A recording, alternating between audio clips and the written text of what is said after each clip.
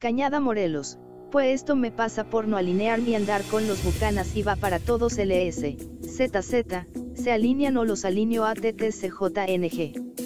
Es el mensaje que se encontró a un costado de restos humanos en una caja de plástico la mañana de este viernes.